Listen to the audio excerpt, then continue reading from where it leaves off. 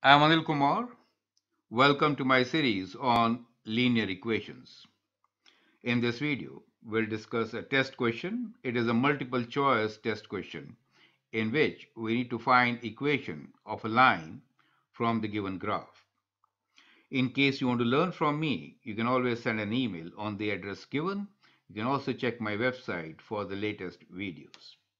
The question here is match the equation of the line with the following graph.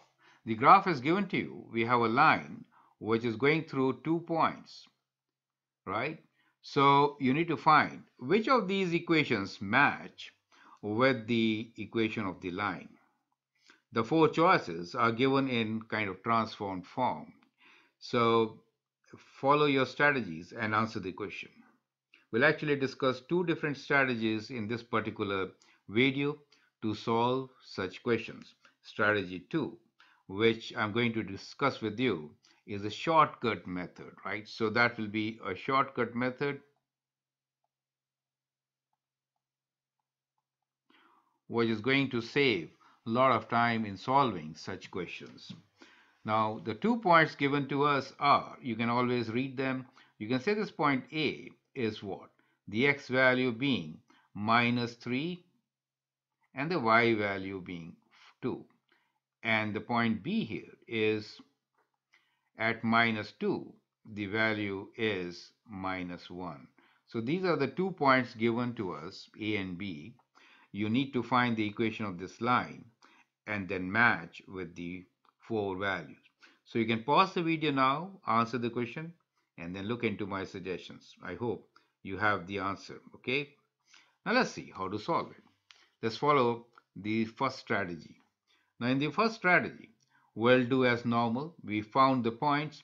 Well, in this case, I wrote A as a point which is minus 2, minus 1, and B, which is minus 3, 2. So these are the two points given to us on a line. So with the help of these two points, we can always find the equation of the line. So that is our strategy number one, where we find the equation of the line and then match the options.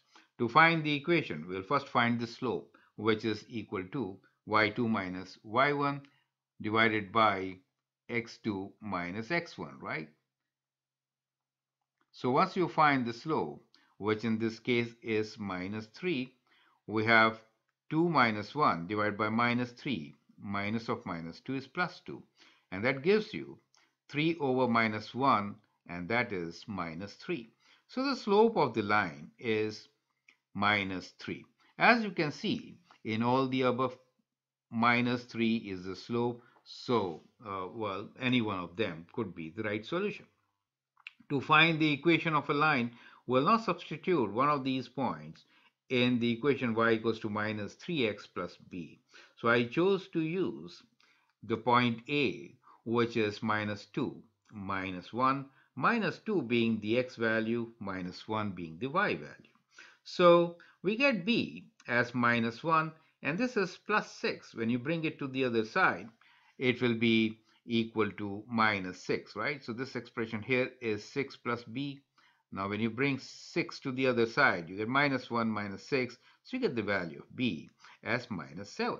And therefore, the equation is y equals to minus 3x minus 7.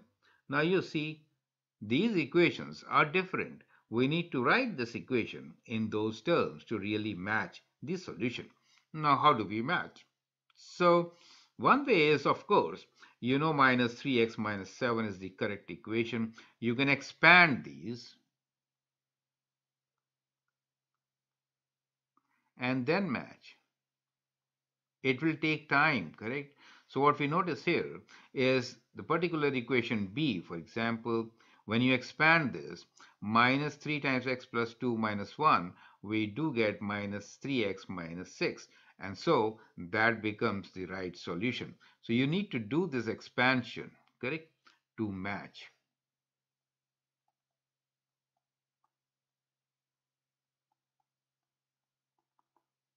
Now this is a long process.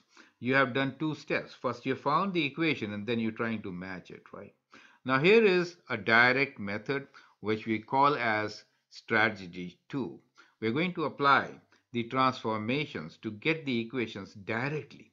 So what are we assuming here is we're looking for the parent function. Do you see that? Parent function means the one which goes through the origin itself. What is the equation of that line? So looking for a line which is parallel through origin. So we found, well, using these two points, we can have, of course find the slope. So we'll find the slope m, which is equal to minus 3 as we did earlier. So these steps are common. So first step, of course, given two points, find the slope. The slope is minus 3. Now if the slope is minus 3 and the line goes through the origin, then what is the equation of that line? Well, that line should be minus 3x since it goes through the origin, correct? Now we have to look into these points and the transformation. The point which you can consider as minus 2 and 1 is basically moved but 2 units to left and 1 unit down, correct? So that is how you get your point. 2 left means x plus 2 and 1 down means minus 1. Do you see that? Since this point is 1 down, we know it has to be minus 1. And since the point is on the left side, it will be x plus 2 and therefore the option B will be the right option, correct? So, so that becomes the correct option for us directly just by finding a line through the origin and then the transformation. So this is extremely a shortcut method to find the solution. I hope you understand and appreciate. So if you adopt this method, you really save time. So I hope you have understood the shortcut method and how do we solve such questions easily. Feel free to write your comments, share your views, and if you like and subscribe to my videos, that'll be great. Thanks for your time and all the best.